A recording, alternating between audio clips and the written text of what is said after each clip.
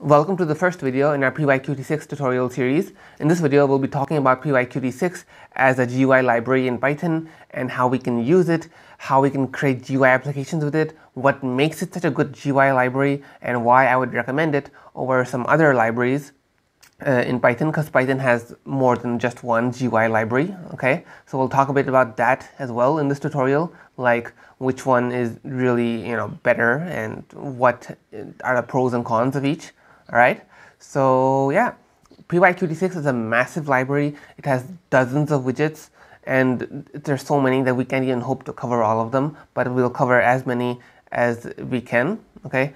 Some of them are pretty niche so it's not even worth you know talking about those much. Uh, but yeah. So there's a bunch of other stuff besides the widgets. Oh and by the way a widget is an individual GUI element like a button. That's a widget or a slider, that's a widget, or a file dialog, that's a widget, okay? These are important terms to keep in mind because we'll be using them a lot later on, all right? There's also the signal, uh, system of signals in PyQt6. We'll make a whole video on that, it's very important. And then there's also the layout managers. That's also very important because when you have a lot of widgets on your screen, when you have a lot of GUI elements on your screen, you need a way to position them. You need them to be properly placed. You need them to be flexible, so if the screen resizes, you can, you know, the widgets expand automatically or act accordingly. All right, so there's so many things in PyQt6. Okay, this is going to be a very long tutorial series, and I do hope you guys will follow it from start to finish. All right, because there's going to be, I assure you, a lot of great content in it. All right, so without further ado, let's begin. Now, uh, we'll, we'll, be using PyQt6, which is the latest version of PyQt. Uh, it was released in 2021. Before 2021, PyQt5 was being used. Okay, it was the latest edition, and even still, people, most people are probably still on PyQt5 at the time of this video. But um, PyQt6 is what people are going to be using in the future, so it's important to know, uh, you know, how to use it. There aren't really that many differences though. There's just a few minor differences really that you need to be aware of and we'll talk about that later on as well. Alright, so without any further ado, let's begin. The first thing I'll do is begin setting up my imports. PyQt6 has a lot of sub-modules within it, so importing you know the correct classes from it can be a bit annoying. Okay, it's not like take Tkinter or something where you just make one import and you're done. Okay, it's more complicated than, than that. But don't worry, uh, I'll teach you guys the meaning of each module and it'll be pretty easy by the end of it. So the first thing I'll do is from PyQt6, from their Qt widgets module, I'm going to import a few basic um, widgets. One is Q application. Q application is for our GUI application. Okay, you won't ever see this on the screen, but it's just something that's there in the background. Then there's Q widget, all right. Then there's also Q push button. We'll be using these in today's video. We'll also use Q label and we'll talk about these soon, don't worry. And we'll also use Q line edit. We'll use three, these three widgets in today's video.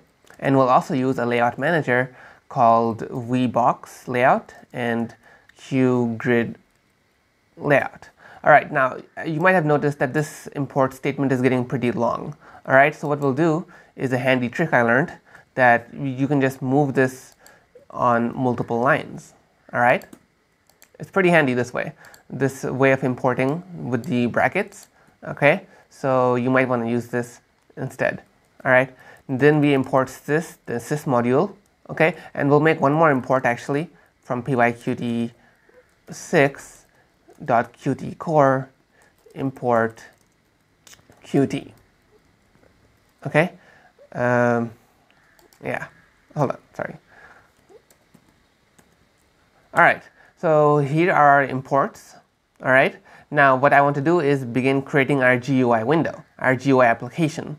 Okay, so I'm going to create a custom class, and this custom class is going to import from QWidget. Okay, QWidget, um, basically we're using a widget to make our window. Okay, we're using the QWidget base class, which all the other classes derive from. Uh, this is again just extra info for those of you who are fully aware of inheritance and how hierarchies work. Okay, so we're inheriting from QWidget here and we're defining our window here as a kind of a QWidget. You might wonder what the benefit of this is and well the benefit is that we get to use a bunch of cool functions and stuff that I'll show you later on.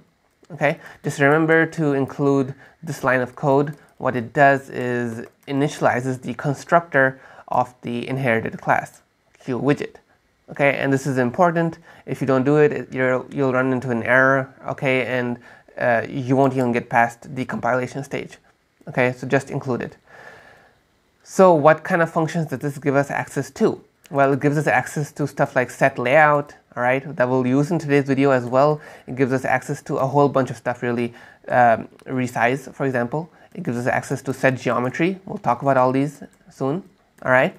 But we're still not actually done, okay? We can't run this code and a GUI window will not pop up because we haven't actually written the application code. We haven't actually created our object for this class.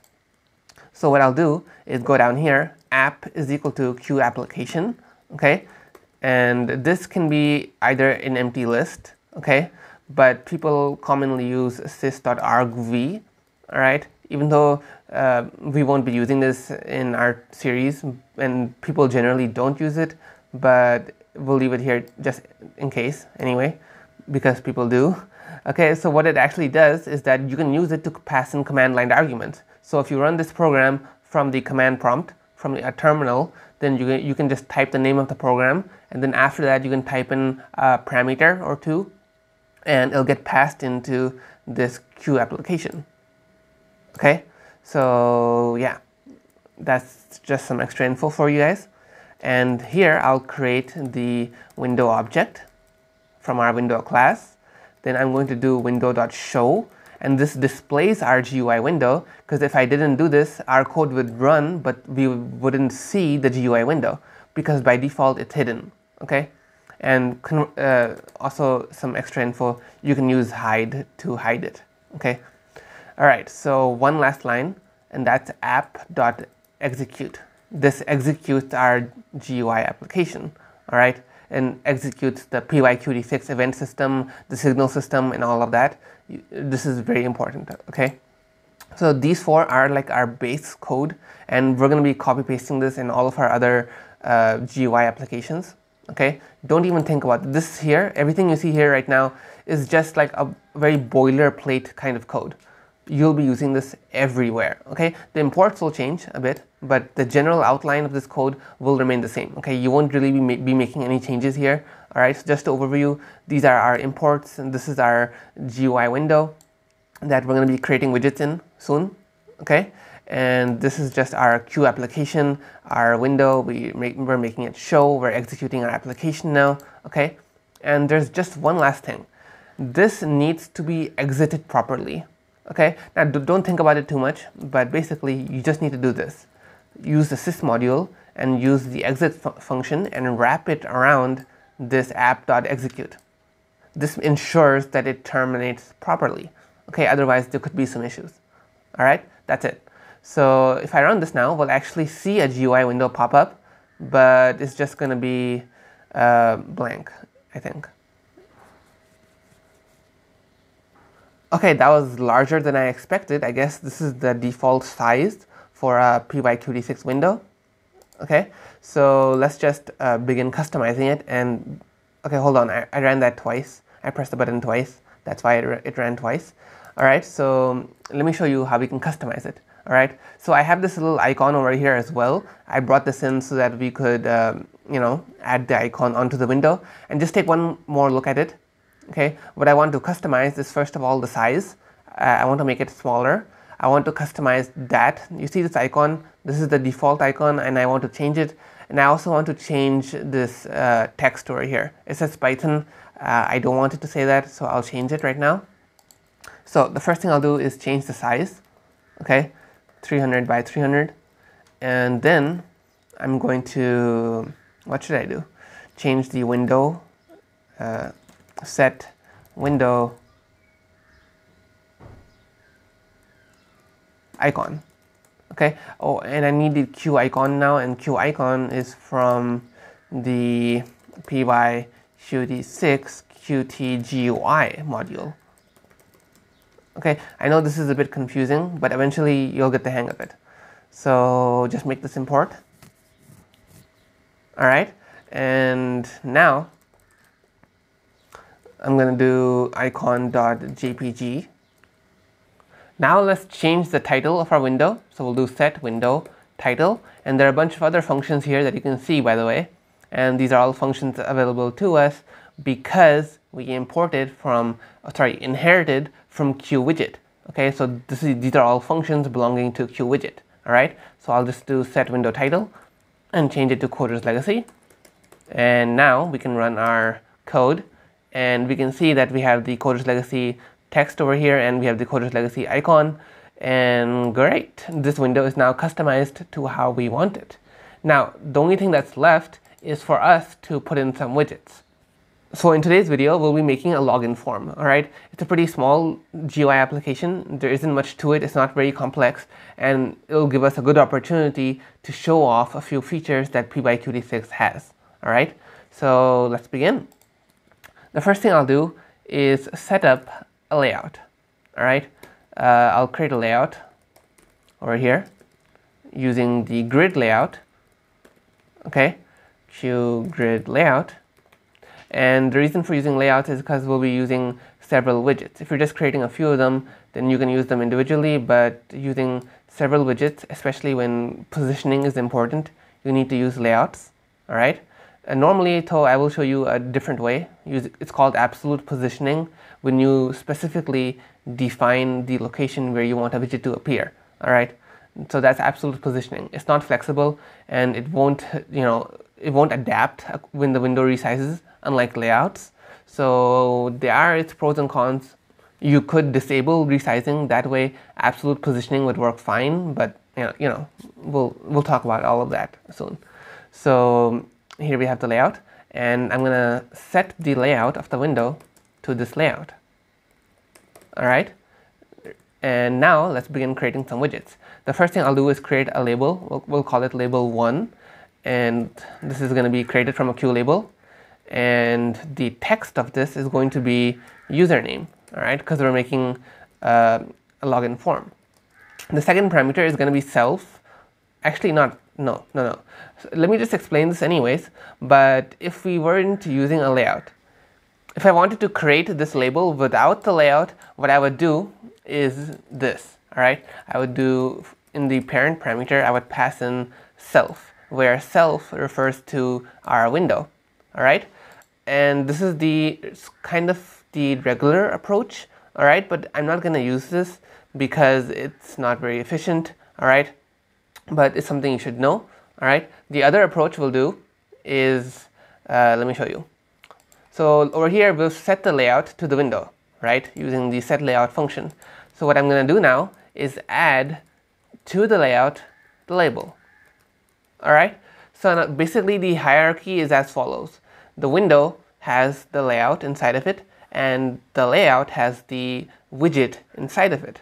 Okay, so that's the hierarchy. So you always need to tell the GUI application, you need to tell PyQt6 what is a child of what all right? So normally when not using layouts we wouldn't have this code okay? So we need to specify it using the parent parameter all right?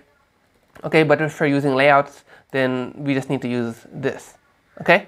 So yeah there's still two parameters that we need to add to this function and that's because we're using the grid layout and the grid layout takes two additional parameters one of them called a row and one of them called column and basically these are needed because the grid layout creates a grid of rows and columns. So you need to specify where are you adding the widget, in which row and which column. So for example, this is the first widget, right? So I'll add it into the 0 and 0 column, okay? A column and row. So that's the very first cell. I'm going to copy this over here, as you can see, create label 2, change this to password, and put this one row down. Okay? And this is actually going to be pretty easy from now on. I'm just going to create uh, the input now. Input 1 is equal to q line edit. And this is going to be self. Oh, wait, sorry. We're not using that anymore. All right, so layout.add widget. And these, each of these widgets actually have a lot of customizations that we can apply, but we'll be talking about those customizations later on in the series. And we'll, everything I'm talking about right now, we'll have a whole video on it because trust me, you may think that you're understanding what's going on right now, but there's actually so much more behind the scenes. There's so many more customizations that we can apply, okay? And, and we'll go into that in separate dedicated videos for each concept, all right? So I'm gonna just add in input one, then do zero and one, copy this over, and then put this in one one, all right? Change that over there, change that over there, and let me just run our code to see what we're getting currently. Great, all right, good. Um, I'm just gonna remove the resize now. We don't need that anymore because with layouts, typically we just uh, let them go with their default sizes. All right, so this is the default size for the widgets and the window is going to expand as the size of the widget increases. All right, I'm going to customize it a bit, set some margins, set content margins and 20, 20, 20, 20 should be good enough. This will add in some padding. Okay, and now I'm going to uh, I'm going to create a button now. Q push button and no parameters. Actually, wait, sorry. We need to pass in the text called submit. Then I'm going to do layout dot add widget and we'll pass in button in here. And this can be somewhere on the second row and the first column. All right, um, the button is a bit too big though. So what I'll do is just change the size button dot set fixed size or let's just fix the width. The height is the height is perfectly fine. So I'll just change this to 50 and that makes us a smaller button. And I want this to be on that side not not not on the left. I want it to be on the right. So what I'll do in this parameter I'll do qt dot alignment flag dot align right okay and these are a bunch of alignments that you can see over here I'll do align right and this will align it to the right. So this is our login form. It's small, it's simple, and it's compact. All right, so let's just rig things up a bit. I'm going to use the signal system and connect the signal called clicked on the button to a function. What is that function though? Let's define it. So I'll create this function called display and in here I'm going to print out a few details okay? And this is actually where I need to go and use self over here. Otherwise I won't be able to use them in other functions. So yeah. Actually I just need to do this on the Q line edits but okay fine. We can do it on the labels as well. We, we may need that later on. So I'm going to do self dot input one dot text that's going to give us the text on the first input box now let's do self.input2.text and this will give us the input on the second one. And let me just go back here and connect this function to our button. And now let's run our code. And there's our window. So if I go over here, type Coders Legacy and type in the password 12345 and click submit, it's going to print out Coders Legacy 12345. So this is it. This is our simple GUI window. We've made a login page and we can submit this data and we can also do some validation checks if we wanted to. All right, so that's up to you. There's, uh, I think we've covered quite a bit of concepts over here. We've covered layouts briefly. We talked about signals briefly. Okay, signals are events basically like button clicks or text changes or hover changes, stuff like that. So yeah, these are all individual topics that are worth entire videos, which is which is exactly why we have entire tutorial series. We'll, we'll be making a video on each button, so do check those out. Okay, it's to be a long series, layout management and all that. So we'll end the tutorial over here. I hope you guys subscribe to the channel, leave a like, leave a comment, let me know what you thought. Is there something in PyQt6 that you want to see? Is there something you don't understand, something that you want me to make a video on? Do let me know. Alright, I'll see you guys in a later video.